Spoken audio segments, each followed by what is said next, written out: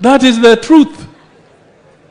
So let us be together, let us be united, let us make Kenya be a state that we can all be proud of. And that can only happen if we.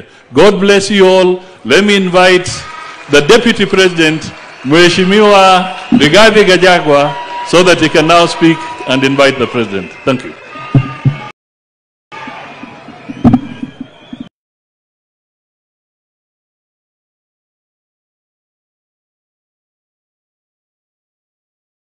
Kiongozi Rais wa Jamhuri ya Kenya, Waziri Mkuu Mheshimiwa Nyamita na viongozi wote waliofika, waangwana, wananchi wa hapa Uriri, Jothurwa utie mulembe vosi.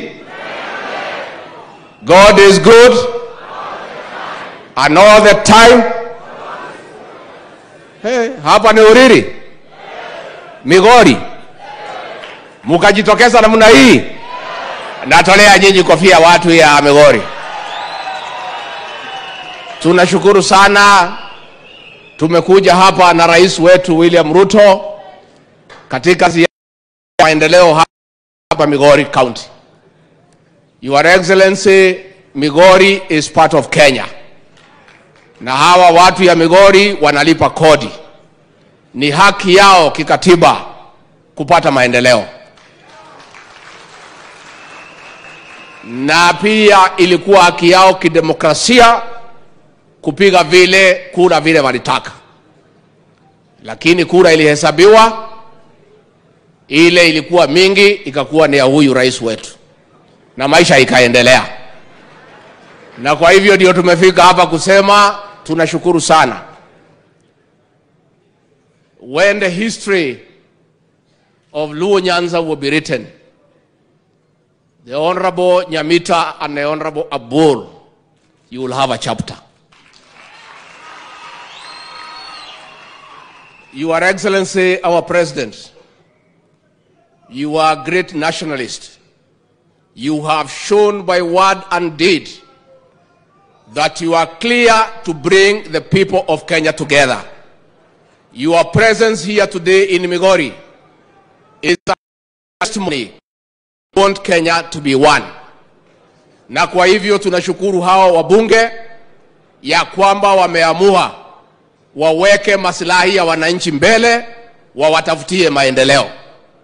Na walipofika pale Ikulu, walikuja kulete mashida zile ziko hapa kwa huyu rais wetu, na ndio rais amefika hapa kutatua maneno ya maendeleo. Tumepita hapa kwa shule, watoto wamemwomba bas amepeana. Kama hangefika hapa ingepatikana amepeana pesa ya kujenga hiyo shule na mambo mengi ambayo itaendelea. Sisi tunakuja kuomba nyinyi kwa heshima, the people of Luo Nyanza, the time has come for you to make a conscious decision to be part of Kenya and engage in the politics of prosperity and development because you deserve development. Na rais, sisi tunakuanga na huzuni sana.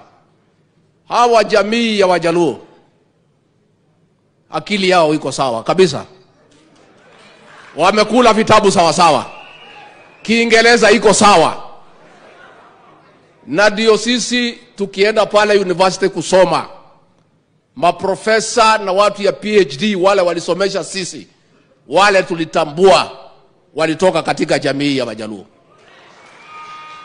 Sisi wenyewe tukienda pale Nairobi Hospital tukitafuta madaktari wale wako wamekula vitabu sawa sawa, tunatafuta maprofesa kutoka jamii ya Wajaluo. It is therefore very sad and ironical that very intelligent people, a community with great ideas, have been denied an opportunity to be involved in the management of the affairs of this great republic. And it is time for you now to make a decision. You must make a decision as a community. And I want to salute Honorable Nyamita, Honorable Abul.